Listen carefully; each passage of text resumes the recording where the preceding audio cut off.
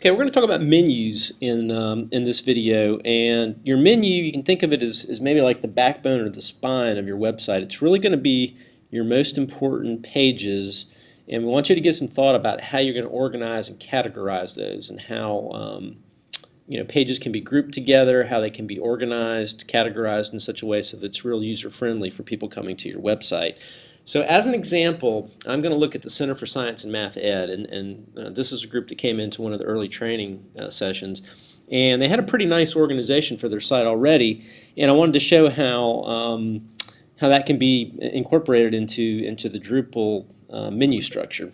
So we've got a, a, couple of pages here about us and welcome that, that sound uh, pretty closely related. We've got uh, another couple of pages, um, MS and PhD, and then the curriculum page that sound like they're academic related. Um, if I scroll down here and I click on outreach, there are a number of outreach programs that they've got. Uh, and then if we click back and I look at uh, faculty, staff, graduate assistants, alumni, so we've got a, a number of people related type pages. So I'm, I'm, I'm, sensing some things that we can kind of group together in this hierarchical menu structure that Drupal allows. So what we're going to do is we're going to create um, labels or categories uh, in the menu and I'm just going to get to the menu by clicking on this. Um, for the most part, most of you are probably going to have um, just one simple menu in your in your system or in your group.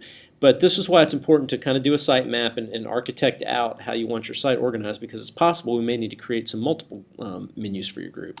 Now, if we click on this test group, what I'm going to do here is I'm simply going to create placeholders and those those labels under which we'll we'll create subpages that are that are the actual content pages.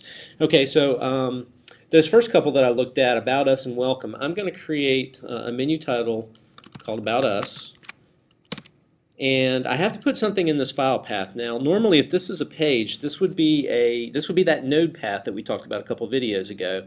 Um, and when you create pages and add them to the menu, which we'll talk a little about a little bit about in the next video, Drupal's going to dynamically add that node path so that we never wind up with a broken link. In the case of a placeholder, we just want to put node in to simply fill space. Okay. Uh, description is something that you can just add um, uh, for to be a little bit more again descriptive of what that link title is. And when somebody hovers over that link in your menu, they're going to get that description that pops up. I'm just going to simply forego that in the interest of time, and I'm just going to save out and create uh, several more um, category headers for the menu